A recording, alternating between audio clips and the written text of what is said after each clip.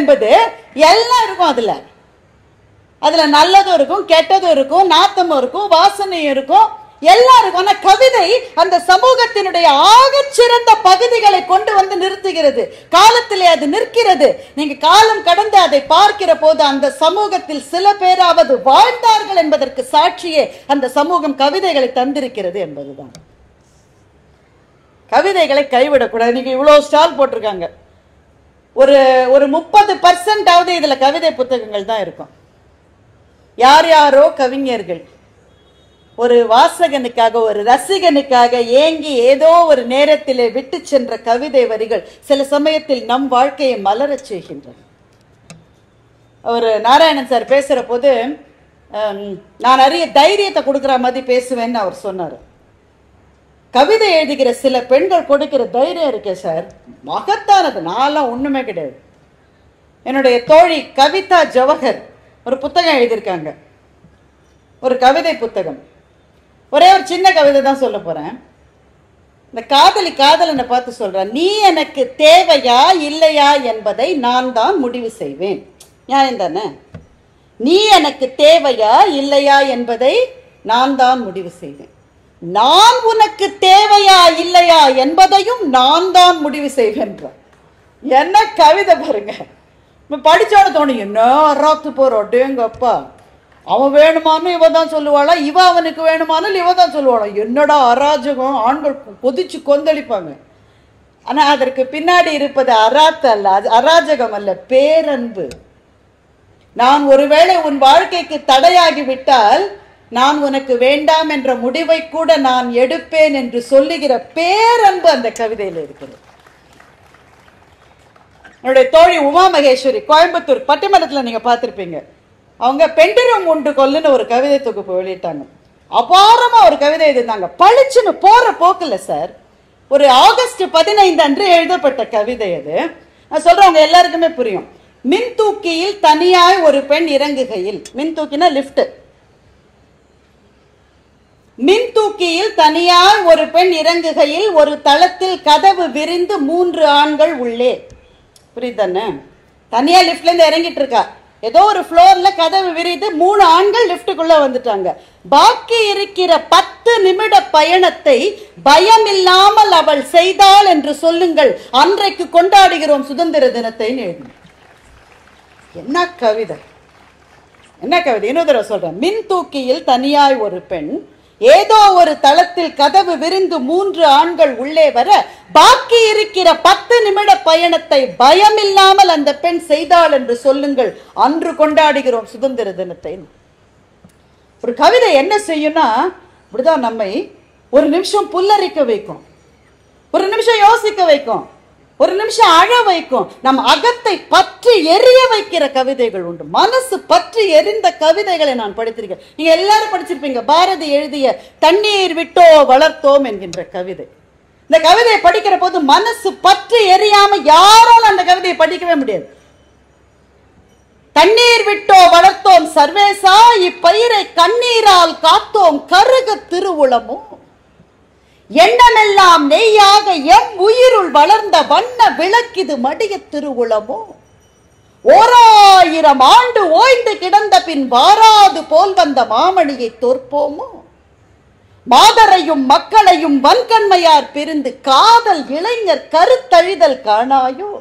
மேலோர்கள் வெஞ்சிரையில் வே- வீழ்ந்து கிடப்பதும் நூலோர்கள் செக்- செக்கடியில் நோவதுமே காண்கிலையோ?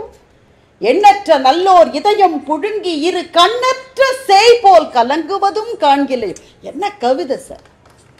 கப்பலோட்டிய தமிழன் கோயம்புத்தூர் சிறையிலே அடைக்கப்பட்டார். அவரை செக்கிழுக்க சொன்னது அந்நிய அரசாங்கம். அவர் செக்கிழுத்தார் என்ற செய்தியை கேட்ட உடனே மகாகவி எழுதிய கவிதை இது. இன்னைக்கு கப்பலோட்டிய தமிழன் உயிரோட இல்லை மகாகவி உயிரோட இல்லை பிரிட்டிஷ் அரசாங்கத்தினுடைய ஆட்சி முடிஞ்சு போச்சு எல்லாம் முடிஞ்சு போச்சு ஆனால் கவிதை முடியாது. கவிதைக்கு இறந்த காலமே கிடையாது வருங்காலமும் கிடையாது. கவிதை எப்போதும் நிகழ்காலத்தில் நித்தியமாய் உறையும். அதுதான் கவிதையினுடைய சிறப்பு. சரி எல்லா கவிதையுமே இப்படி தானாங்க நம்ம ஒரு வானவில் ஒரு தேநீர்லாம் பார்த்துக்கிட்டு கொஞ்சம் ஜாலியாக இருக்கிற மாதிரி கவிதையில் தாராளமாக இருக்கும். தபு சங்கர் எழுதினார் ஐந்து மணிக்கு சந்திப்பதாய் சொன்னார். முதலில் ஐந்து மணிக்காக காத்திருந்தேன். ஐந்து மணி ஆனதும் நீ வருவதற்காக காத்திருந்தேன். நான் காதலிக்க ஆரம்பித்திருக்கிறேனா? காத்திருக்க ஆரம்பித்திருக்கிறேனான்னு கவிதை எழுதினேன். காதலிச்சவங்க எல்லாரும் கை தட்டுவாங்க இதுக்கு. ஏன்னா அவங்களுக்கு தான் தெரியும். அந்த பொண்ணு சாயங்காலம் தான் வரேன்னு சொல்லியிருக்கோம். கார்த்தால எட்டு மணிலும் தலையை சீவிக்கிட்டே இருக்கும். அந்த வைரமுத்து எழுதினார் உன் பிம்பம் விழுந்தே கண்ணாடி உடையும்னு எழுதினார் அவ்வளோ தடவை கண்ணாடியில் பார்ப்பானோ? மனசை லகுவாக்குகிற கவிதைகள். இன்னொரு கவிதை சொல்லிட்டா ரொம்ப ஜாலியான கவிதை. கண்ணதாசன் எழுதினது. அவரை இது கண்ணதாசன் எழுதினதுன்னு நான் சொல்லியிருக்க வேண்டாம். நான் கவிதையை சொன்னாலே நீங்க கண்டுபிடிச்சிருவீங்க. இது அவரை தவிர வேற எந்த பயல் இதை எழுத முடியாது. செட்டிநாட்டு கவிதை. சுச்சுவேஷன் என்ன? எல்லா வீட்லயும் இருக்கிற சுச்சுவேஷன் ஒரு மாமியார் ஒரு மருமகளை திட்டுற எல்லா வீட்லயும் இருக்கிற சுச்சுவேஷன் எல்லா வீட்லயும் இருக்கிற டயலாக் ஆனால் இது செட்டிநாடு டைலக்டோட இதை நீங்கள் படிக்கணும். என்ன சுச்சுவேஷன்னாக்க இவன் ஏன் இந்த மாமியார் அந்த மருமகளை சூஸ் பண்ணா தன் பிள்ளைக்கு? நாராயண செட்டியாருன்னு ஒருத்தர் வந்து இந்த பொண்ணு ரொம்ப நல்ல பொண்ணுன்னு சொல்லி கல்யாணத்தை முடிச்சு வச்சார். அதில் மாமியார் சொல்கிறார் நல்லாத்தான் சொன்னார் நாராயணன் செட்டியார். நல்லாத்தான் சொன்னார் நாராயணன் செட்டியார். வல்லூரை கொண்டு வந்து வாசலில் விட்டாக. கல்லா பிறந்தவளை கரும்பாம்பு குட்டியின செல்லா பணத்தை செல்லுமின்னு சொன்னாக. ஊரெல்லாம் பொண்ணு இருக்கு. என்ன வருத்தம் பாருங்க ஊரெல்லாம் நிறைய பொண்ணு இருக்கு. ஊரெல்லாம் பொண்ணு இருக்கு. உக்காத்தி வச்சா தேரெல்லாம் ஓடி வரும் திருவிழா வந்ததுன்னு. எட்டு கண்ணு விட்டறிய என் தம்பி மக இருக்க குத்தி சுவரு ஒன்ன கொண்டு வந்து வீட்டில் வச்சேன்னு. அவர் தம்பி மகளே இருக்கா? தம்பி மகளை விட்டுட்டு இந்த பொண்ணை செலக்ட் பண்ணிட்டோமேன்னு லேட்டா இந்த மாமியார் ரிக்ரெட் பண்ணி கவிதை எழுதுறான். இன்னும் கவிதை போகுது. எட்டுக்கல்லு மூக்குத்தி ஏழு பவன் சங்கிலி வைரத்தால் கண்ட சரம் வளைகாப்பு மோதிரங்கள் ராசியிலே நெய்த பட்டு பத்து வகை மெத்தைகள் விரித்து வைக்க கம்பளங்கள் தேக்கு மர பீரோ என் தம்பி கொடுத்திருப்பான் அவன் பொண்ணை கொண்டிருந்தான் வந்தாளே மகராசி வாக்கரிசி இல்லாம அப்பம் கொடுத்து சீரு ஆறு நாள் காணாது. கப்பலிலே வரும்னு கதையோ கதை படிச்சா. செட்டு நாட்டுக்காரங்களுக்கு நல்லா புரியும். இவன் ஒரு சீரும் கொண்டு வரல. கப்பலில் வருதுன்னு கதையா கதை படிச்சா. எந்த நாள் பாவமோ என் கால சுத்துதடி. தம்பி மக சமைச்சா சபையெல்லாம் வாசம் வரும். கத்திரிக்காய் கூட்டு வச்சா கடவுளுக்கே பசி எடுக்கும். உன்ன ஒரு கை எடுத்தா உள்நாக்கில் நீர் இறங்கும். வெண்டைக்காய் பச்சடிக்கும் வெள்ளரிக்காய் தக்காளி கிண்டி விட்ட கீரைக்கும் கீழிறங்கும் தெய்வம் எல்லாம் யாரு தம்பி மக சமைச்சா? இவளும் தான் சமைச்சா என் விதியை ஏன் சொல்ல? ராசா கிளியாட்ட ஒத்த பிள்ளை பெத்த. பேசா கிளியானா பெண்டாட்டி பேச்சு கேட்டு. பாருடான்னு சொன்னா பார்க்காம போராண்டி கேளுடான்னு சொன்னா கேட்காம போராண்டி நீட்டி படுக்கும் வரை நிம்மதி எனக்கு இல்லையா ஊட்டி வளர்த்த மகன் ஒரு வார்த்தை கேட்டானா? எல்லாம் முடிஞ்சதடி யமன் வந்தால் போதுமடி. தேவி கருமாரி தென்மதுரை மீனாட்சி காவலுக்கு நீதான் கடைசி வரை வேணுமடி. ஒரு மக பெற்றிருந்தா உதவிக்கு வந்திருப்ப. மருமகளை நம்பினேன். மகராசி பேயானா? நல்லாத்தான் சொன்னாரு. நாராயணன் செட்டியாருன்னு கவிதை முடிச்சார். என்னம்மா எழுதிருக்காரு பாருங்களேன். அது வந்து இந்த- இந்த கவிதையெல்லாம் உட்காந்தெல்லாம் மனப்பாடம் பண்ண முடியாது. அது அந்த கவிதையில் இருக்கிற சந்தம் அப்படி. அது உங்களை தூக்கிக்கிட்டு போகும் அது. நீங்கள் என்ன நினைக்கிறீங்க? எதுகை வேண்டும் மோனை வேண்டும் இப்படிலாம் உட்காந்து கவியரசுல எழுதிருப்பாரு நினைக்கிறீங்க? கிடையவே கிடையாது. அது அவருக்குள்ள இருக்கிற ஆதார ஸ்ருதி அவருக்குள்ள ரத்தம் ஓடுவது மாதிரி அந்த ஸ்ருதி மீட்டர் ஓடிக்கிட்டே இருந்திருக்கு. என்ன சுச்சுவேஷனாலும் மனுஷன் உடனே எழுதிருவாரு? என்ன என்ன கவிஞன் அந்த கவிதையை படிச்ச உடனே உங்க வீட்டில் இப்படி ஒரு மருமகளே இருந்தா கூட நீங்க ரசிப்பீங்க. அதுதான் அந்த கவிதையினுடைய சிறப்பு. எதுக்கு ரசிப்பீங்க? எல்லா வீட்லயும் இப்படித்தானே இருக்கு. பரவாயில்ல நான் தான் தனியாக தனியா கஷ்டப்படுறேன்னு நினைச்சேன்னு. கவிதை உங்களுக்கான ஒரு சொந்தத்தை உருவாக்கி விடுகிறது. கவிஞனுக்கும் உங்களுக்குமான ஒரு ஆன்மாவினுடைய தொடர்பு. கவிஞன் உயிரோடு இல்ல. கடகாசன்ல உயிரோடு இல்லை இப்போ. ஆனா எங்க மனசுல அவர் வாழறாரு. அதுல இருந்து அவர் செத்து போக முடியாதுல்ல? அவர் வாழ்ந்துட்டு தானே இருப்பாரு. அதுக்கு மரணம் கிடையாது. கவிதை அந்த அனுபவத்தை தரும். ஒன்றும் இல்லை சார் ஒரு கவிதை எழுதுறாரு. ஒண்ணுமே இல்லை. இந்த வீட்டில் பெண்கள் வந்து சூடு பாத்திரத்தை இறக்க ஒரு கந்த துணி வச்சிருப்போம் தெரியுமா? கந்த துணியை காசு கொடுத்து யாரும் வாங்க மாட்டோம் கிழிஞ்சு நஞ்சு போய் எதுக்குமே பிரயோஜனம் இல்லைன்னு ஒரு புடவை போகும். அது பெரும்பாலும் மாமியார் வாங்கி கொடுத்த புடவையா அந்த புடவையை கிழிச்சு தான் கந்த துணி. இந்த கந்த துணியை பற்றி கண்ணதாசன் எழுதினார் கரிசல் காட்டு கழனியில் சில கால்கள் உழுத உழவு சில கைகள் கனிந்த கனிவு. குறிசை எரிக்கும் விளக்கின் ஒளியைப் போல இலைகள் இரண்டு வரவு அதில் இயற்கை கலந்த அ- கலந்த அழகு. பருத்தி என்ற ஒரு செடி வளர்ந்தது பருவ பெண்ணை போலே. அந்த கரிசல் மண்ணின் மேல் அது சிறுத்த அழகில் வாய் வெடித்தது சின்ன குழந்தை போல அந்த வண்ண செடியின் மேல். ஒன்றும் இல்லை. பருத்தி பூத்திருக்கு. அதை தான் இவ்வளோ அழகாக எழுதியிருக்காரு அது பூத்து அது வெடிச்சு அதிலிருந்து சேலை வந்து அந்த சேலையை அந்த பொண்ணு கட்டிக்கிட்டு அவள் ஹஸ்பண்ட் பார்த்தா ஐயோ சூப்பராக இருக்கு நீ எனக்கு நயன்தாரா மாதிரியே இருக்குன்னு சொல்லியிருப்பான் போல இருக்கு. அந்த காலத்தில் யார் இருந்தாங்களோ? சாவித்திரி மாதிரி இருந்தான்னு சொல்லியிருப்பான். பார்த்து ரசிச்சு அந்த புடவை கிழிஞ்சு போய் அடுப்பங்கரைக்கு வந்துருச்சு இப்போ.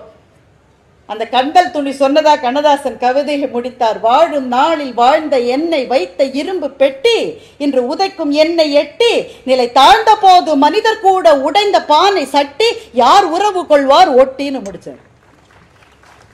நிலை தாழ்ந்துட்டா எவனும் பக்கத்துல நிக்க மாட்டான் இதுதான் கவிதையோட தீமை. ஆனா அவர் அதுக்கு கொடுக்கிற அந்த அந்த அந்த வரவேற்பு இருக்கு பாருங்க.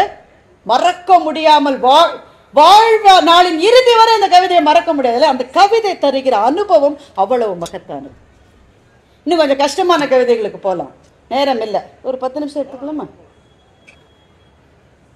கவிதைகள் வந்து இப்படித்தான் இருக்கணும்ன்றதுல இட் கேன் பி அப்ட்ராக்ட் உங்களுக்கு கவிதையை படிச்ச உடனேயே புரியணும்னு அவசியம் இல்லை. உண்மையில் ஒரு கவிதையை படிக்கிற போது நீங்கள் என்ன அறிகிறீர்கள் என்பது முக்கியமல்ல என்ன உணர்கிறீர்கள் என்பதுதான் முக்கியம். ஒரு கவிதையிலிருந்து இதையெல்லாம் நான் அறிந்து கொண்டேன்னா அது கவிதை கிடையாது கற்று சார் இது. நீங்கள் என்ன உணர்கிறீர்கள்? கவிதையை படிக்கும் போது எதையுமே உணர முடியாது. கவிதை புத்தகத்தை மூடி வைத்த பிறகுதான் அந்த உணர்வு உங்களுக்கு வரும். ஒரு வானவில் ஒரு தேநீர் நீங்கள் படித்துவிட்டு மூடி வைத்த ஒரு கவிதை. இது போரும் உங்களுடைய அந்த நாளினுடைய சிறப்புக்கு. அதுதான் வேணும். ஒரு கவிதை. ரொம்ப கஷ்டம் இல்லை. கூட்டத்தில் நெறிப்பட்டு மிதிப்பட்டு கோவில் வாசல் படியில் வந்து உட்கார்ந்தேன் புரியுதானே? நெறிப்பட்டு மிதிப்பட்டு கோவில் வாசல் படியில் வந்து உட்கார்ந்தேன் எதுக்குத்தான் இப்படி இடிக்கிறாங்களோ என்றேன். எனக்கும் புரியவில்லை என்று கடவுள் வந்து அருகே அமர்ந்தார். என்ன கவிதை?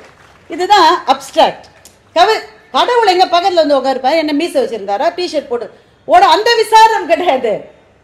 கடவுளுக்கே அந்த கோவில்ல நெரிசலா இருக்குடா. அவனுமே வெளியில வந்துட்டான்றது என்ன அழகான ஒரு கவிஞனுடைய வீச்சு பாருங்க. சில சமயம் லாங் கியூல நிற்போம் திருப்பதியில எல்லாம் போட்டு அம்முவாங்க. அவரை போய் பார்க்கறதுக்குள்ள ஜருகண்டி ஜருகண்டின்னு கையை பிடிச்சு அந்த ஆளு வெளியில போட்டுருவாரு. எனக்கு என்ன தோணுச்சுன்னா பெருமாள் உள்ள இருக்காரு உண்மைதான். ஆனா பல சமயங்கள்ல உள்ள இல்லை வெளியிலேயே இருக்காரு பெருமாள். நம்மளோட அவர் நின்னுட்டு இருக்காரு நாம அவரை பார்க்க முடியலன்னா அவர் நம்மளை பார்த்துட்டாருல்ல அது போகிறோம்ல நமக்கு. அதனால்தான் குலசேகர ஆழ்வாருக்கு அவர் சொன்னதுனால இன்ஸ்பிரேஷன் குலசேகர ஆழ்வாருக்கு தோணுச்சு பெருமாள் உள்ள இருக்கிறவன் இல்லடா. இந்த மலையில வந்து குறுகா இருக்கிறவன் மீனா இருக்கிறது ஆறா இருக்கிறது ஸ்தம்பமா இருக்கிறது இந்த காட்டு புதரா இருக்கிறது. அவன் கோவில் வாசல்ல எல்லாரும் மிதிச்சு ஏறுற படியா இருக்கிறது. எல்லாமே பெருமாள் தாண்டான்னு குலசேகர ஆழ்வாருக்கு தோணுது.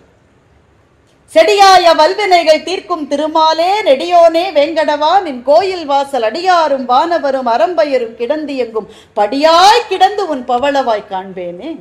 எதுவா வேணா இருக்கலாம். அப்போ இவன் இந்த புதுக்கவிஞன் சொன்னானே கடவுள் என் பக்கத்துல வந்து உட்கார்ந்திருந்த உட்கார்ந்தாருன்ற கவிதைக்கும் குலசேகர ஆழ்வார் கவிதைக்கும் ரொம்ப நெருக்கமா இருக்கு பாருங்க. நடுவில் ஐநூறு வருஷம் இருக்கு அறுநூறு வருஷம் இருக்கு. நான் அறுநூறு வருஷத்தையும் காணாமல் போகச் செய்கிற சக்தி ஒரு கவிதைக்கு மாத்திரமே உண்டு. ஆனந்தனுடைய இன்னொரு கவிதை சொல்லு இன்னும் கொஞ்சம் அப்டிராக்ட் அடுத்த லெவலுக்கு நம்ம போகணுன்றதுக்காக. கிளையில் வந்தமர்ந்த பறவையை கேட்டேன் பறப்பது எப்படி? என்று.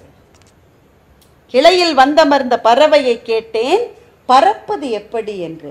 உட்கார்ந்தபடி சொல்ல தெரியாது. தொடர்ந்து வா என்று பறந்தது. பறவை சொல்லிச்சா உட்காந்துக்கிட்டு பறக்கிறத எப்படி டீச் பண்ணுறது நீங்கள் சில ஸ்விம்மிங் மாஸ்டர்ஸ்லாம் பார்த்துருப்பீங்களா? அந்த ஆள் தண்ணியிலே இறங்க மாட்டான். அந்த ஆள் நல்லா வளர்ந்து கரையிலே நின்னுட்டு இடது காலை போடு வலது கையை போடு. நீ இறங்கி சொல்லி கொடுற. இந்த பறவை நல்ல டீச்சர் அதனால அது சொல்லுது உட்கார்ந்தபடி எப்படி பறக்கிறதுக்கு சொல்லி தர முடியும்? தொடர்ந்து வா என்றது. தொடர்ந்து பறந்தபடி கேட்டேன் எப்படி பறப்பது என்று? இப்படித்தான் என்று பறவை சொன்னது. கவிதை அப்சாக்ட் சரியா புரியாத மாதிரி கூட இருக்கும். ஆனா என்ன சொல்ல வருது அது? ஒன்றை தெரிந்து கொள்ள வேண்டும் என்கின்ற வேட்கையும் விழைவும் உனக்கு இருந்தால் அப்போதே அதை நீ தெரிந்து கொண்டு விட்டாய் என்று அர்த்தம். கற்றுக்கொள்வதற்கான முதல் படி அந்த தேடல் அந்த வேட்கை அந்த விழைவு. அதனால் தான் சொல்லித் தருகிறவனை குரு என்று சொன்னது இந்த தேசத்தினுடைய தர்மம். இன்னொரு கவிதை சொல்றேன். இது நான் நிறைய மேடைகளை சொன்ன சொல்லியிருக்கேன். எனக்கு ரொம்ப பிடிச்ச கவிதை அதனால் உங்கள்கிட்டயும் சொல்றேன். தீபத்தை வணங்கினர் மக்கள். தீக்குச்சியை வணங்கினான் பித்தன். புரியுதானே தீபத்தை வணங்கினர் மக்கள். கோயிலுக்கு போன தீபத்தை தானே வணங்குவோம்? அண்ணாமலையில் தீபம் எரியுது வணங்குவோம். தீபத்தை வணங்கினர் மக்கள் தீக்குச்சியை வணங்கினான் பித்தன். தீபம் இருக்க தீக்குச்சியை ஏன் வணங்குகிறாய் என்று பித்தனிடம் கேட்டேன். பித்தன் சொன்னான் எரிவதை விட ஏற்றியது உயர்ந்தது என்று என்று சொன்னான். கவி இந்த கவிதையை படிச்ச உடனே ஒரு நிமிஷம் கண்ணை மூடணும் உணரணும். தீபம் போல நம்முடைய வாழ்க்கையை ஏற்றி வைத்த ஏதோ ஒரு ஆசிரியரோ ஒரு குருவோ உங்களுக்கு நிச்சயம் இருந்திருப்பார். அவர் இப்போ உயிரோட இருக்காரா இல்லையான்றது அவசியம் இல்லை. ஆனால் அவருக்கான ஒரு நிமிட அஞ்சலி இருக்கிறதே. அந்த சுகானுபாவத்தை அந்த நன்றி உணர்வை கொடுத்தது இந்த கவிதை. கவிதை நம்மை வாழ வைக்கிறது. அதிக நேரம் இல்லை. இன்னும் பின்னாடி நான் பின்னாடி பின்னாடி போயிட்டு இருக்கேன் ஏன்னா சங்கப்பாடல்களில் இருந்த கவிதை உணர்வுக்கு ஈடு இணைய கிடையாது. என்ன பிரச்சனை? படித்தோன்னு புரியாது. நாம் அந்த மனப்பாட பகுதியில் படித்து கோனார் நோட்ஸோடய படிச்சுட்டோமா? சத்தியமாக புரியாது.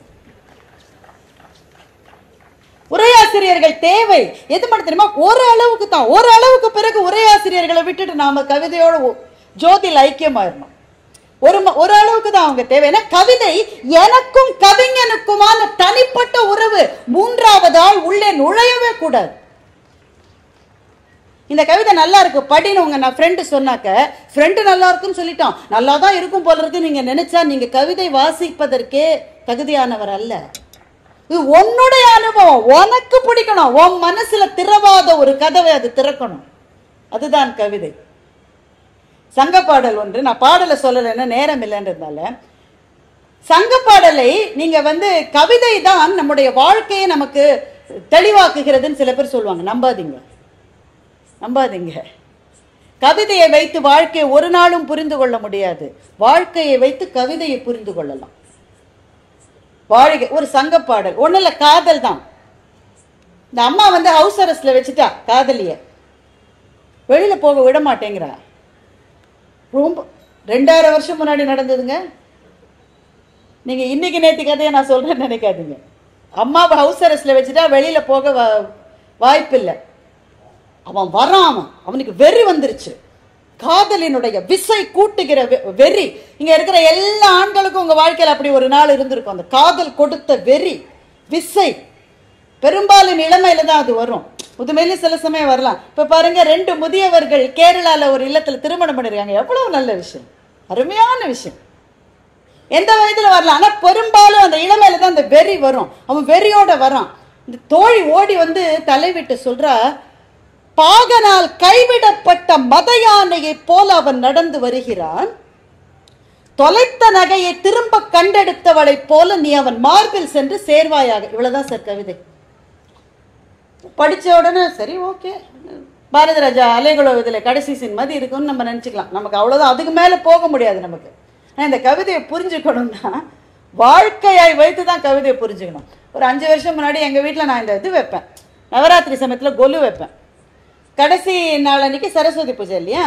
சரஸ்வதி பொம்மைக்கு வந்து ஒரு தங்க நெக்லஸ் போடுறது ஒரு வழக்கம். தங்க சங்கிலி ஏதோ ஒன்று போடுவாங்க.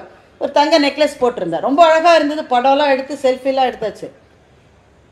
என்ன இருக்கு? பொம்மையை சுருட்டி வைக்கும் போது அதே அவசரம் தான். இப்போ நான் சொன்ன மாதிரி அதே அவசரம். ஆஃபீஸ்லேருந்து ஃபோன் வருது பாஸ் கூப்பிடுறாருன்னு உடனே. அப்படி அப்படியே சுருட்டி மேலே வச்சதுல நகையோட சரஸ்வதி மேலே போயிட்டா. எனக்கு அது தெரியல. அதுக்கப்புறம் ஒரு ரெண்டு மாதம் கழிச்சு ஏதோ ஒரு கல்யாணத்துக்கு போகிறதுக்காக தேடும்போது நெக்லஸ் இல்லை. எப்படி இருக்கும்? வீட்டில் சொன்னால் இதுக்கு தான் எப்போ பாரு வெளியூர் போய்கிட்டே இருந்தால் வீடு இப்படித்தான் இருக்கும்னு கமெண்ட் வரும். வருமா வராதா? சொல்லவும் முடியாது. எனக்கு என் பொண்ணு மேலே தான் சந்தேகம். ஏன்னா எதையுமே அதோட இடத்துல வச்சு அவள் பழகலை. அவளோட சாக்ஸ் வந்து எப்பவும் கடுகடை பக்கத்தில் தான் இருக்கும். அதுவும் ஒரு சாக்ஸ் இன்னொரு சாக்ஸை கண்டுபிடிக்க முடியாது. அவள்கிட்ட பல முறை எச்சரித்து கேட்டேன் நீ தான் நீ தான் நான் எடுக்கவே இல்லைம்மா. ஐ டோன்ட் லைக் கோல்ட் ஜுவல்லரின்ட்டா இப்போ நான் எங்கே போகிறது ஆ ஒருவேளை லாக்கரில் வச்சுருப்பேன்னு சொல்லி லாக்கருக்கு நம்ம வருஷத்துக்கு ரெண்டு தடவை தானே போவோம். கல்யாணம் வரும்போது தானே போவோம். தண்டமாக ரெண்டை கொடுத்துக்கிட்டு. லாக்கருக்கு ரெண்டு தடவை போயிட்டு வந்துட்டேன். அங்கேயும் இல்லை. சரி அவ்வளோதான் ஒரு வேதாந்த மனநிலைக்கு வந்து போனால் போகட்டும் போடா. இந்த பூமியில் எதிராக நிலையாக இருந்தது. தங்கத்தின் மீது மனசு வைத்தால் என்ன ஆகும்? இப்படிலாம் சமாதானம். இதுக்கு குணங்குடி மஸ்தான் சாஹிப் பாட்டை வேற நான் எனக்குள்ள சொல்லிக்கிறேன். கவிதை எப்படிலாம் உதவி பண்றது பாருங்க. வேட்டையை காதலித்து வெறுநாயை கைப்பிடித்து காட்டுக்குள் போவதேனோ கண்ணே ரகுமானேன்னு குணங்குடி மஸ்தான் சாஹிப் எழுதிட்டார். அதில் ஒரு துணை தகவல் நம்ம தண்டையார்பேட்டை இருக்குல்ல நம்ம ஊரில். தண்டையார்பேட்டைன்னு எப்படி பேர் வந்தது என்ன அர்த்தம் அதுக்கு? திருவல்லிக்கேணினா அல்லிப்பூக்கள் பூக்கிற குளம் உடையதுனால திரு அல்லிக்கேணி தண்டையார்பேட்டைனா என்ன சார் அர்த்தம்னா குணங்குடி மஸ்தான் சாஹிப் திருச்சிக்கு பக்கத்தில் இருக்கிற தொண்டியை சேர்ந்தவர். அவர் தண்டையார்பேட்டை அந்த பகுதியில் நார்த் மெட்ராஸ் பகுதியில் தான் வந்து வாழ்ந்து சமாதி ஆனார் தொண்டியார் அந்த இடத்துல சமாதி ஆனதுனால அது தொண்டியார் பேட்டை நாம் பேச்சு வழக்கில் அது தண்டையார் பேட்டை ஆகிட்டோம். குணங்குடி மஸ்தான் சாஹிப் பாட்டெல்லாம் சொல்லி வாழ்க்கையை துச்சமென மதிக்கலாம் துணிஞ்சு எல்லாம் பண்ணிட்டாங்க. அடுத்த வருஷம் நவராத்திரிக்காக பொம்மையை இறக்குற போது சரஸ்வதி பொம்மையினுடைய பேப்பரை சுத்தின உடனே பளிச்சு பளிச்சுன்னு மின்னுது. நான் அங்க இருக்கேன். பொம்மையை அங்க பிரிக்கிறாங்க. ஒரு தாவு தாவினே பாருங்க. அனுமார் கூட லங்கை எப்படி தாவி இருக்க மாட்டார் சார். ஐயோ நெக்லஸ் இங்க இருக்கான்னு. என் மனசில் உடனே அந்த கவிதை மின்னியது. பாகன்களால் கைவிடப்பட்ட முதங்கொண்ட யானையைப் போல அவன் நடந்து வருகிறான். தொலைந்த நகையை கண்டெடுப்பவளைப் போல நீ ஓடிச் சென்று அவன் மார்பில் சேர். அந்த வேகம் இந்த வேகம். நீங்கள் கவிதையை வைத்து வாழ்க்கையை புரிந்து கொள்ளவே முடியாது. வாழ்க்கையை வைத்துத்தான் கவிதையை புரிந்து கொள்ள வேண்டும். கவிதை என்பது ஒரு நல்ல அனுபவம் மகத்தான அனுபவம். இன்னும் ஒரு கவிதை சொல்கிறேன் அதோட நம்ம நிறைவு செஞ்சுக்கலாம்னு நினைக்கிறேன். தேவதச்சனுடைய கவிதை. எனக்கு ரொம்ப பிடித்த கவிதை. எல்லாம் முடிஞ்ச அப்புறம் என்ன?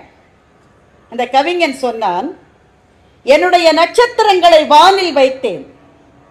என்னுடைய ஜலத்தை ஆற்றில் விட்டேன். என்னுடைய மனநியை சரித்திரத்தில் நிறுவினேன். இனி தன்னுடைய இலையை தானே வியக்கும் ஒரு மரத்தின் கிளையில் ஊஞ்சலிலே நான் இருப்பேன் என்று கவிதையை முடிக்கிறேன். எதை சொல்லுகிறது இந்த கவிதை? ஒரு கட்டத்துக்கு அப்புறம் விலகி இருன்னு உங்களை சொல்லுது. என்னுடைய நட்சத்திரங்களை வானில் வைத்தேன் என் ஜலத்தை ஆற்றில் விட்டேன் என் மனநியை சரித்திரத்தில் வை- வைத்தேன். என் வேலைதான் முடிந்தது. தன் இலையை தானே வியக்கும் ஒரு மரத்தின் கிளையில் ஊஞ்சலாடுவேன் என்று கவிஞன் சொன்னான். சார் உங்களுக்கான டைம் வாழ்க்கையில முடியும். முடிக்கிற போது விலகி இருங்கள். சமையல் ரூம் பொறுப்பு மருமகள்கிட்ட போயிட்டாக்க உப்பு இப்படியா போடுவான்னு கேட்காதீங்க. இனிமே அவ பாடு உங்க மகன் பாடு விலகி இருங்கள். உங்கள் மகன் ஒரு முடிவை எடுக்கிறான்னா நாங்கள்லாம் அந்த காலத்தில் எங்கள் அப்பா பேச்சை கேட்டு தான் நடப்போம் என்று சொல்லாதீர்கள். இது வேறு தலைமுறை வேறு வாழ்க்கை. விலகி இருங்கள். மகாபாரதத்தில் ஒரு கதை. யுத்தம் முடிந்தது. குருக்ஷேத்திர யுத்தம் முடிஞ்சு அர்ஜுனன் பெருமையில் பொலிந்து கொண்டிருக்கிறான். கண்ணன் அவனை கூப்பிட்டு என்னை பார்க்க யாதவர்கள் வந்திருக்காங்க பார்த்தா அவங்க திரும்பி போகிற வழியில் திருடர்கள் அவங்கள அட்டாக் பண்ணுவாங்க. நீ கொஞ்சம் கூட போய் அவங்கள காப்பாற்றுனா அர்ஜுனன் கேட்டான். திருடர்களெல்லாம் ஜெயிக்கிறதுக்கு என்னையா அனுப்புகிற நான் யாரை ஜெயிச்ச ஆள்? சரி எனக்காக கொஞ்சம் போயிட்டு வாப்பா. தோஸ்து தானே நீ? கண்ணனுக்காக போகிறான். அதே போல திருடர்கள் வருகிறார்கள். அலட்சியமாக காண்டீபத்தை எடுத்து அர்ஜுனன் அம்புகளை பறக்க விடுகிறான். என்ன ஆச்சரியம். ஒரு அம்பு கூட அவன் நினைத்தபடி போய் விழவில்லை. எல்லாமும் கீழே தப்பு தப்பா போகுது. ஐயோ எனக்கு என்ன ஆயிற்றுன்னு கதறும் போது கண்ணன் குதிரையில் வருகிறான். அவனே தன்னுடைய வில்லை எடுத்து அம்புகளை எடுத்து எல்லா திருடர்களையும் விரட்டிட்டான். அர்ஜுனன் அழுது கொண்டிருக்கிறான். அர்ஜுனா என்ன எதுக்கு அழுகிற? கண்ணா என் கைக்கு என்ன ஆயிற்று? இது மகாபாரத யுத்தத்தை ஜெயித்த கை. இந்த கையில் இருந்து வருகிற அம்புகளா தவறும்? என்ற போது கண்ணன் சொன்னான் உன் நேரம் முடிந்தது. உனக்கான ஆற்றல் உன்னுடைய ஆற்றல் அல்ல. அந்த யுத்தத்தை ஜெயிப்பதற்காக உனக்கு கொடுக்கப்பட்ட ஆற்றல் உன் நேரம் முடிந்தது விலகி நில் என்று கண்ணன் சொன்னான். நீங்க மகாபாரதத்தை படிக்க படிக்க கண்ணன் கருணை கடவுள் என்று ஒரு பக்கம் தோணும். இன்னொரு பக்கத்துல பேஷண்டினுடைய உடலை கூறு போடுகிற மருத்துவன் மாதிரி அவன் நிர்தாட்சண்யமாக கண்ணன் நிற்பதை நீங்கள் பார்ப்பீர்கள். நீ யார் என்பதை உங்களுக்கு சொல்லக்கூடியவன். இப்போ இந்த கதையை படிச்சுட்டு அந்த கவிதையை யோசிச்சு பாருங்க.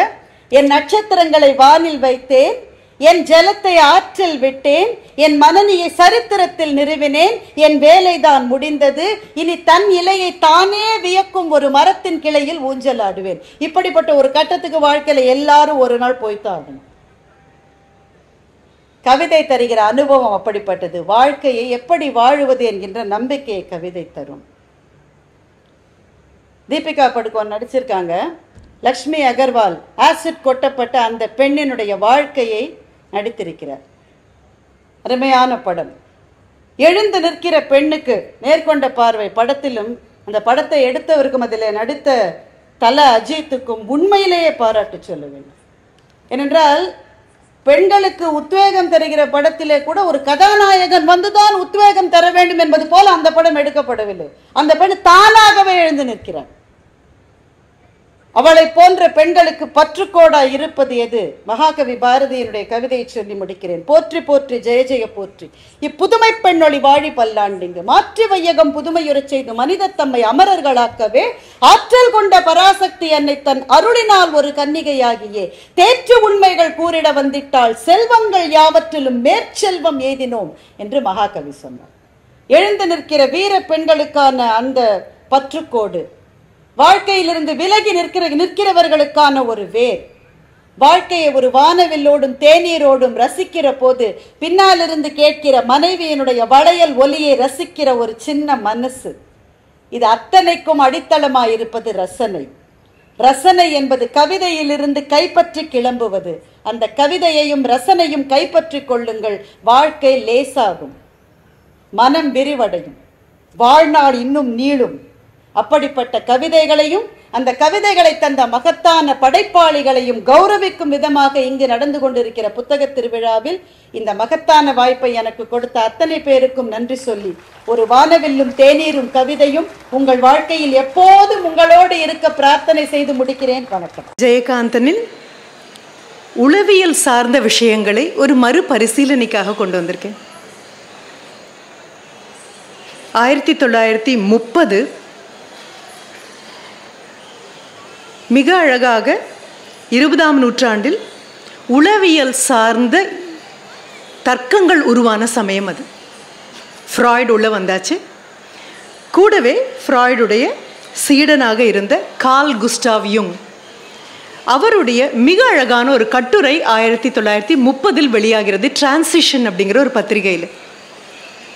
சைக்காலஜி அண்ட் பொயட்ரி அப்படின்னு ஒரு விளக்கம் கொடுக்குறாரு. அந்த விளக்கத்தில் அவர் ரெண்டு விதமான எழுத்தாளர்களை நமக்கு அறிமுகம் பண்ணுறார் முதலாவதாக வரக்கூடிய எழுத்தாளர்கள் உளவியல் சார்ந்த எழுத்தாளர்கள். சைக்கலாஜிக்கல் ரைட்டர்ஸ் தங்களுடைய அந்தரங்கத்திலிருந்து அதில் வார்க்கப்பட்டிருக்கக்கூடிய அனுபவங்களிலிருந்து அதன் புரிதலிலிருந்து எழுத்தை கொண்டு வரக்கூடிய எழுத்தாளர்களை சைக்கலாஜிக்கல் ரைட்டர்ஸ் இரண்டாவதாக இன்னொரு படைப்பாளரை கொண்டு வந்து நிறுத்துறாரு. ரொம்ப அழகாக அவருக்கு சொல்றாரு விஷன் அவர்களுக்கு விஷனரி ரைட்டர்ஸ் தீர்க்க தரிசனம் உள்ள படைப்பாளர்கள். இவர்கள் இரண்டு பேருக்கும் உள்ள பெரிய வித்தியாசம் உங்களாலும் என்னாலும் உளவியல் சார்ந்த எழுத்தை எழுதக்கூடிய சைக்கலாஜிக்கல் ரைட்டர் தன்னுடைய சொந்த அனுபவத்திலிருந்து அதிலிருந்து தன்னுடைய புரிதலை வைத்து மனிதர்கள் எல்லோரும் இப்படித்தான் இருப்பார்கள் என்ற யூகத்தை வைத்துக்கொண்டு எழுதக்கூடிய நபர்கள். இரண்டாவது வரக்கூடிய விஷ்னரி ரைட்டர்ஸ் தீர்க்க தரிசனம் தீர்க்க தரிசனம் என்பது முதலில் பார்வை என்னன்னு தெரியணும். அந்த பார்வை தரிசனமாக என்ன செய்யணும்னு தெரியணும். அந்த தரிசனம் தீர்க்கமாகிறதுக்கு என்ன செய்யணும்னு தெரியணும்.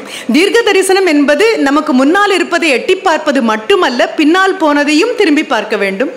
அப்போ கடந்தது கடப்பது கடக்க போவது இது மூன்றையும் ஒன்றாக உள்வாங்கினால் மட்டும்தான் விஷ்னரி ரைட்டராக மாற முடியும். ரொம்ப அபாயகரமான எழுத்தாளர்கள் இவர்கள். கால் குஸ்டாவியும் அவருடைய எழுத்தை பற்றி சொல்லும்பொழுது அவர் சொல்கிறாரு அன்றாட வாழ்க்கையில் நீங்களும் நானும் சந்தித்து செல்லக்கூடிய எதுவுமே இவர்களுடைய பாடுபொருளாக இருக்காது. எதை கண்டு அச்சமடைகிறோமோ எது நமக்கு திகிலூட்டுகிறதோ எது நமக்கு அருவருப்பு தருகிறதோ எது நமக்கு ஒரு அபாய எச்சரிக்கையாக இருக்கிறதோ அவை எல்லாமே இவர்களுடைய பாடுபொருளாக இருக்கும். அது மட்டுமல்லாமல் அடுத்தது மனதின் அந்தரங்கத்தின் இருளில் இருக்கக்கூடிய இண்டு இடுக்குகளில் இருக்கக்கூடிய அழுக்குகளையும் மேலே கொண்டு வந்து காட்டக்கூடிய நபர்கள் நமக்கு அருவருப்பும் ஆச்சரியமும் அச்சமும் ஒன்றாய் ஏற்படுத்தும் எழுத்தாளர்களை விஷ்ணரி ரைட்டர்ஸ் தீர்க்க தரிசன எழுத்தாளர்கள்னு குறிப்பிடுறேன்னு சொல்கிறார் அடுத்தது ஒன்று சொல்கிறார் மிக சாதாரணமான வாசகர்களால் இவர்களை புரிந்து கொள்ள இயலாது. இப்போ வாசகர்கள் அப்படிங்கும் பொழுது அது ஒரு படிநிலை. வாசகர்கள் இலக்கிய வாசகர்களாக மாறும் பொழுது அது ஒரு பரிணாம வளர்ச்சியாக தான் இருக்க முடியும். இப்போ நான் சொல்லக்கூடிய ஜெயகாந்தனை பற்றிய அவருடைய உள் வெளிச்சத்தை அவர் காட்டக்கூடிய மனிதனின் நிழல் பண்புகளை வெளியே கொண்டு வரக்கூடிய காட்சிகளை உங்ககிட்ட சொல்லும் பொழுது போகிற போக்கில் அவருடைய புத்தகங்களை வாங்கி கொண்டு போகலாம். ஏதோ ஒரு தகவல் கிடைத்தது இந்த பெண்மணி சொன்னார்கள். அப்படி பார்க்கும்பொழுது you are just an informed reader ஒரு தகவல் உங்கள் கைவசம் வந்திருக்கு. அந்த தகவலை வைத்துக்கொண்டு அந்த புத்தகங்களை வாசிக்கப் போகிறீர்கள். மீண்டும் ஒரு முறை அதே புத்தகத்தை ஒரு மூன்று ஆண்டோ நான்கு ஆண்டுகளோ கழித்து வாசிக்கக்கூடிய சௌபாகியம் வாய்க்குமே ஆனால் அதை நான் அப்படிதான் சொல்றேன். மிகப்பெரிய வரம் அது கொடுப்பினை. அவ்வளவு சுலபமா கிடைக்காது. கிடைக்குமே ஆனால் இரண்டாவது முறை நீங்கள் வாசிக்கும் பொழுது ஒரு அறிவார்ந்த ஒரு வாசகனாக உங்களுடைய படிநிலை மாறும். You become an intelligent reader எந்த இடத்தை தாண்டி போகலாம் எந்த இடத்தை தடவி போகலாம் எந்த இடத்தில் நின்று போகலாம் எந்த இடத்தில் கிடந்து உருண்டு அனுபவித்து போகாமல் அங்கேயே தங்கிவிடலாம். இதெல்லாம் புரிந்து கொள்ளக்கூடிய இன்டெலிஜென்ட் ரீடராக மாறுவீர்கள் அறிவு சார்ந்து. மீண்டும் உங்களுடைய சௌபாகியம் இன்னும் வளருமேயானால் மூன்றாவது முறையாக நீங்க வளரணும். பரிணாம வளர்ச்சி உள்ளுக்குள்ளே இருக்கணும். வரும் நான்கு வருடம் கழித்து அதே புத்தகத்தை தீண்டும் இன்பம் வாய்க்கப் பெருமையானால் உங்களுக்கு கிடைக்குமே ஆனால் மூன்றாவது முறை வாசிக்கும் பொழுது அதிலிருந்து தெரியக்கூடிய வெளிச்சங்கள் முதல் வாசிப்பில் கிடைக்கவே இல்லை என்பது புரியும். You become an enlightened reader ஒவ்வொரு வரியிலையும் புதிய புதிய வெளிச்சங்கள் எழுத்தாளன் கொடுக்கவே இல்லை. உங்களுடைய பரிணாம வளர்ச்சி புதிய புதிய இடங்களை கண்டடையக்கூடிய ஒரு வாய்ப்பாக. நான்காவதாக அது பெரிய ஒரு நல் ஊழாக இருந்தால் மட்டும்தான் முடியும். இந்த நான்கு தரையும் வாசிக்கிறதுக்கு நீங்களும் இருக்கணும் புத்தகமும் இருக்கணும் வாசிக்க வேண்டிய விழைவும் இருக்கணும். நான்காவது முறையும் வாசிக்கக்கூடிய பெரும் பேரு வாய்க்க பெருமையானால் then you become an empowered reader அவ்வளவே நான் அதற்குள்ளே இருக்கக்கூடிய எல்லா சக்தியையும் உங்களிடம் முறிந்து கொண்டாகிவிட்டது. இதற்கப்புறம் அந்த புத்தகம் உங்களுக்குள் வாழுமே தவிர புத்தகத்தை கையில் எடுத்துக்கொண்டு நீங்கள் வாழ வேண்டிய தேவையில்லாத சூழலுக்கு போவீர்கள். அதை விட ஒரு படைப்பாளனுக்கு ஒரு வாசகன் கொடுக்கக்கூடிய பெரும் மரியாதை வேறு எதுவும் கிடையாது. இது படிநிலை. எல்லோருக்கும் வாய்க்க பெறுமா என்பது சந்தேகம் ஆனால் வாய்க்க பெற வேண்டும் என்பது என்னுடைய விழை. அப்படி பார்க்கும் பொழுது கால் குஸ்டாவ் யுங் சொல்லக்கூடிய இந்த விஷனரி ரைட்டர்ஸ் தீர்க்க தரிசன படைப்பாளர்களை அணுக வேண்டுமே ஆனால் அணுகி இருக்க வேண்டுமே ஆனால் வாசிக்க வேண்டுமே ஆனால் படிநிலைகளை கடந்து நீங்கள் செல்ல வேண்டுமே ஆனால் அது சாதாரண வாசகனால் முடியாது என்று அவர் சொல்லக்கூடிய அந்த இடத்திலிருந்து ஜெயகாந்தன் அவர்களை நான் உங்களுக்கு கொண்டு வந்து கொடுக்க போகிறேன் மறிவாசிப்புக்கு நீங்க கொண்டு போக வேண்டிய எல்லாரும் மீண்டும் மீண்டும் பேசிய எல்லா கதாபாத்திரங்களும் பக்கத்தில் உட்காந்து கொண்டு நான் சேதுபதி அவர்கள்கிட்ட சொன்னது கௌரி பாட்டியை யாராவது சொல்லி திரும்புறதுக்குள்ள சிற்பி ஐயா கௌரி பாட்டியை கொண்டு வந்து நிறுத்தியாச்சு. கல்யாணி கல்யாணியை கொண்டு வந்து நிறுத்தியாச்சு. நான் அப்புறம் நினைச்சேன் குருபீடத்துலேருந்து எல்லாமே உள்ள வரணும்ப்பா சீசர்லேருந்து எல்லாமே வரணும். நிக்கி உள்ள வரணும். எது வரக்கூடாது? எல்லாமே உள்ள வரணும். ஜெயகாந்தன் உள்ள வந்தால் நிழல் கூட விடாமல் அத்தனையும் உள்ள வரணும். ஆயிரத்தி தொள்ளாயிரத்தி அறுபத்தி ஒன்பதில் வந்த இரண்டு குறுநாவல்கள். கணிசமாக சாடப்பட்ட இரண்டு குருநாவல்கள். இரண்டாயிரத்தி இருபதில் ஒரு பனிரெண்டாம் தேதி மாலை மயங்கக்கூடிய இந்த நேரத்தில் மறுபரிசீலனைக்கு நம்மளுடைய மேடைக்கு வருது இது பற்றி பேசினா பாவம் இதை பார்த்தால் பாவம் என்று சொன்ன அத்தனை விமர்சகர்களும். ஒரு ஒரு விஷயம் ஜெயகாந்தன் கிட்டேருந்து படிக்க வேண்டியிருக்கு. விமர்சனம் என்பது விடை அல்ல. Criticism is not a solution for a problem criticism is after all criticism விமர்சனங்கள் விமர்சனங்கள் மட்டுமே அல்ல விம மட்டுமே அல்லாமல் அவை விடைகள் அல்ல விமோச்சனங்கள் அல்ல. அப்போ விமர்சனங்களிலே தேங்கி போகக்கூடிய படைப்பாளனால் எந்த ஒரு பிரச்சனைக்கும் விடை காண முடியாது. நான் சொல்லக்கூடிய அந்த ரெண்டு நாவலும் பரிச்சயம் உள்ளவர்களுக்கு தெரியும். ஆடும் நாற்காலிகள் ஆடுகின்றன ஒன்று. அடுத்தது ரிஷி மூலம். இதற்கு முன்னால் இன்னொரு அழகான நூல் ஒன்று வந்தது. ஆயிரத்தி தொள்ளாயிரத்தி அறுபத்தி ஐந்தில் விழுதுகள். ஓங்கூர் சாமி மாதிரி ஒரு மிகப்பெரிய ஒரு விஸ்வரூபத்தை யாரும் இனிமேல் படைக்க முடியாது. ஜெயகாந்தனே மீண்டு வந்தாலும் தன்னுடைய எழுத்தை பார்த்து நின்று ஆச்சரியப்படத்தான் அவரால் முடியுமே தவிர அவரையும் மிஞ்சிய ஒரு கதாபாத்திரமாக அது வரக்கூடியது. நான் சொன்ன இந்த இரண்டு நாவல்களும் ஆடும் நாற்காலிகள் ஆடுகின்றன. ரிஷி மூலம் பலதரப்பட்ட வாக்குவாதங்களுக்கு ஆட்படுத்தப்பட்டவை. அதை வெளியிட்ட பத்திரிகைகள் இது போன்ற கதைகள் இனிமேல் வாரா என்று வாக்குறுதி கொடுக்க வேண்டிய அளவுக்கு தள்ளப்பட்ட இரண்டு நாவல்களை தான் நான் இப்போ எடுத்துட்ருக்கேன் நான் சொன்னது தொ- ஒரு ஆன்டிசிபேட்டரி பெயில் ஒன்று எடுக்கிற மாதிரி நான் சொன்னேன்.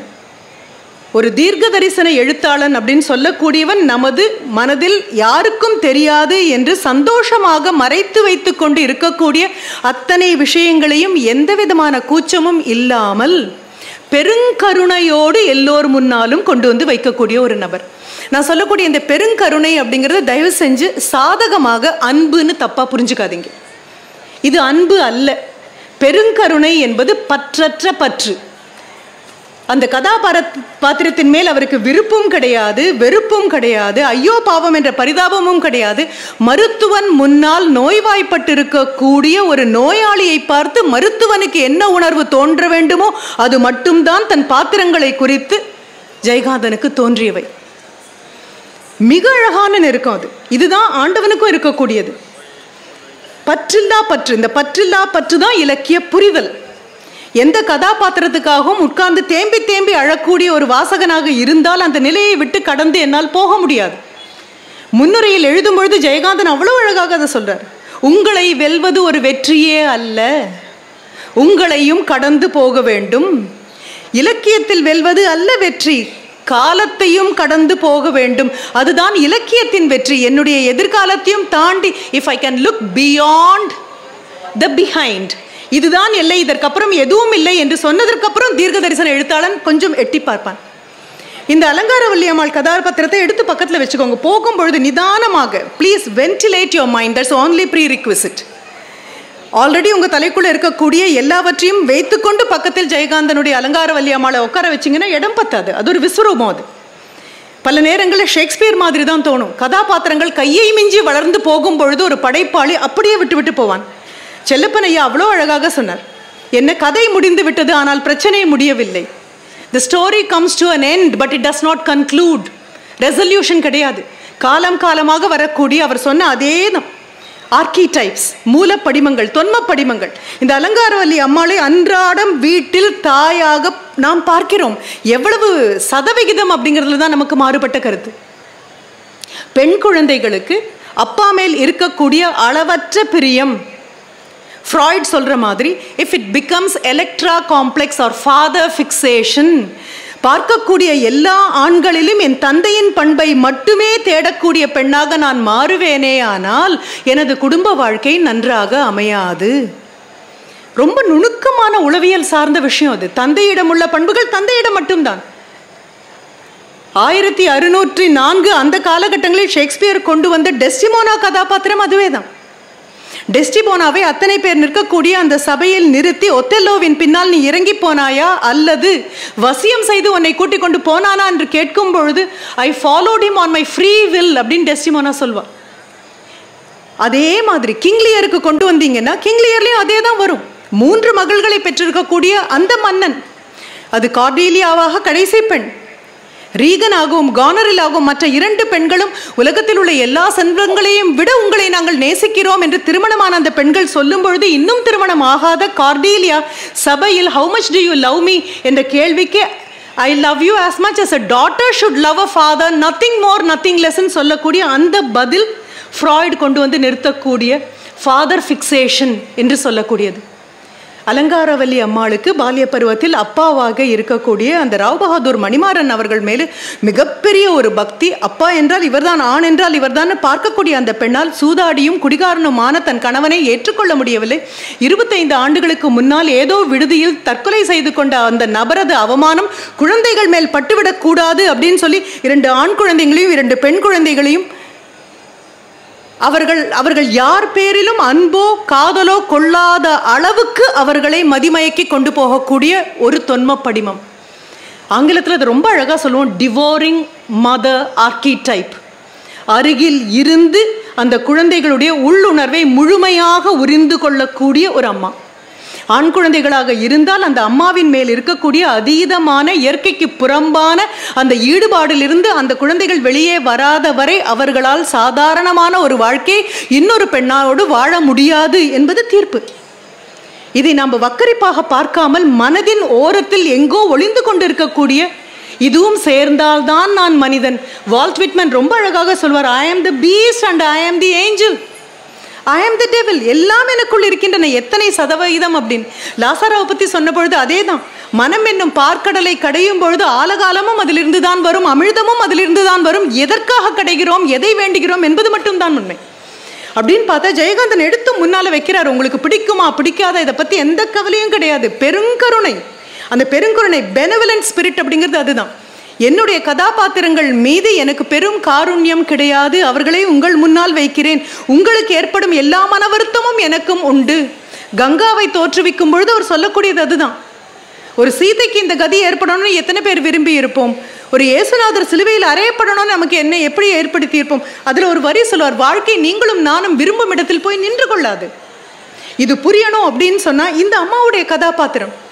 அந்த எல்லா குழந்தைகளும் காலில் விழுந்து கெஞ்சக்கூடியது அதில் வரக்கூடிய குறியீடுகள் எல்லாமே உங்களை அதிர்ச்சிக்கு ஆளாகும். பக்கத்தில் ஒரு ஃப்ராய்டு எடுத்து வச்சீங்க அப்படின்னு சொன்னால் இவ்வளவு ஆழமாக அழுத்தமாக ஒரு நபரால் எழுத முடியுமா? அதை விட மிக அழகானது. அந்த அந்த மாதிரி ஆக்கிரமிக்கக்கூடிய தாய் பயன்படுத்தக்கூடிய ஆயுதம் என்னவாக இருக்கும் என்றால் அன்பாக இருக்கும். உன்னை உனக்காகத்தானே இவ்வளவு நான் செய்கிறேன். உன்னை நேசிப்பதால் தானே இவ்வளவு நான் செய்கிறேன். என்னை விட்டு விட்டு போவாயா? அதனுடைய முன்னுரையில் சொல்வார் ஆக்கிரமிப்பவர்கள் கூட யாரோ அடுத்தவர்கள் அல்ல. ஆக்கிரமிப்பவர்கள் அன்பை காட்டக்கூடிய நபர்கள் தான் ஆக்கிரமிப்பாளர்களாக மாறுகிறார்கள். ஆனால் ஆக்கிரமிப்பவர்கள் ஆக்கிரமிக்கப்பட்ட பொருளை காட்டிலும் இன்னும் கவலை உறுகிறார்கள் தோல்வியுறுகிறார்கள். என்ன காரணம் என்றால் ஆக்கிரமிக்கப்பட்ட பொருள் என் கையை விட்டு எப்பொழுது போய்விடுமோ என்ற அபாயம் எப்பொழுதுமே அவர்கள் மனதில் தழும்பிக் கொண்டிருக்கிறது. இதை விட நுணுக்கமாக தாய் தகப்பன் தன் தன் குழந்தைகள் மேல் வைத்திருக்கக்கூடிய அன்பை எச்சரிக்கை உணர்வோடு காட்டக்கூடிய இன்னொரு படைப்பு கண்டிப்பாக கிடையாது. அதில் வரக்கூடிய அந்த ஆடும் நாற்காலி ஃப்ராய்டு கிட்ட போய் பாருங்க. அடுத்த நிமிஷம் அவர் சொல்லக்கூடியது அது கலவி குறியீடாக வரக்கூடிய ஒன்றுன்னு காண்பிக்கிறார். அங்கே பூட்டு போடப்பட்டு தொடங்க இருக்கக்கூடிய அந்த வீடுகள் வளர்ந்த அந்த பெ- பெண் கடைசியாக அந்த வளர்ந்திருக்கக்கூடிய பெண்ணை கூட என் குழந்தை என் குழந்தைன்னு மீண்டும் மீண்டும் கூப்பிட்டு கூப்பிட்டு உனக்கு வயதாகவில்லை உன் நன்மை தீமையை நான் தான் பார்க்க போகிறேன். இந்த டிவோரிங் மதர்ஹுட் அப்படின்னு சொல்லக்கூடியது மிக கடுமையான ஒன்றாக இருக்குது அலங்காரவள்ளி அம்மாளுடைய ஃபாதர் ஃபிக்சேஷன் தன் தந்தை மேல் இருந்த பெரும் ஒரு அது பக்தியை தாண்டிய ஒரு நிலை தன் குழந்தைகளுக்கு காட்டக்கூடிய எல்லாமே இயல்பான ஆண் பெண் உறவு என்பது மிகவும் கேவலமானது. நீங்கள் அண்டக்கூடாதது. உங்களுக்கு அபாய ரொம்பவும் அபாயகரமானது. இது அப்படியே கொண்டு வந்து பக்கத்தில் நீங்கள் வைக்க வேண்டியது என்ன அப்படின்னு சொன்னால் அடுத்தது கூடவே அதன் உடனே வந்து அதனுடைய ட்வின் ரைட்டிங் ரிஷி மூலம். நான் சத்சங்கம்னு சொன்னதுக்கு அதுதான் காரணம். ரிஷி மூலத்தை கையில் எடுத்து பார்க்கறதுக்கு முன்னால் you have to know Oedipus complex இது ஒன்றும் புதிய விஷயம் அல்ல. ஒரு விநாயக புராணத்தை புரிந்து கொண்ட நம்மால் இதை வெ- வெகு இயல்பாக புரிந்து கொள்ள முடியும். என்ன வேணும் அப்படின்னா எத்தனாவது படிநிலையில் இருக்கக்கூடிய வாசகர் நீன்னு தெரிஞ்சுக்கணும். அந்த நீங்கள் எத்தனாவது படிநிலையில் இருக்கிறீர்கள்? ஏதோ தகவல் சொன்னார்கள் போய் எடுத்து படிக்கக்கூடிய உங்களுக்கு அருவருப்பாக இருக்கலாம் எரிச்சலாகலாம் இதெல்லாம் ஒரு இலக்கியமான்னு கேட்கலாம். இத்தனை கேள்விகளையும் தாங்கிக் கொண்டு காலம் கடந்து இரண்டாயிரத்தி இருபது பன்னிரெண்டாம் தேதி ஜனவரி மாதம் வந்து நிற்க முடியும் அந்த இலக்கியத்தால் அப்படின்னு சொன்னா கம்பன் இருந்த காலத்துல யாருமே எழுதலையா? இல்ல வள்ளுவர் இருந்த காலத்துல யாரும் எழுதலையா? இல்ல இளங்கோ இருந்த காலத்தில் யாரும் எழுதலையா? எழுதிய எழுத்தை கடலில் கொண்டு போய் வீசுவார்கள் கடல் திருப்பி கொடுக்கும் அப்படின்னா என்ன கடல்? காலக்கடல். காலக்கடலில் வீசும் பொழுது திருப்பி கொண்டு வந்து ஒரு விஷயத்தை கொடுத்தால் அது காலம் கடந்து நிற்கும்னு அர்த்தம். அது காலக்கடன் இந்த தகவல் உங்களுக்கு பிடிச்சிருந்தா லைக் பண்ணுங்க உங்க ஃப்ரெண்ட்ஸுக்கு ஷேர் பண்ணுங்க. மறக்காம எங்க சேனலுக்கு சப்ஸ்கிரைப் பண்ணுங்க.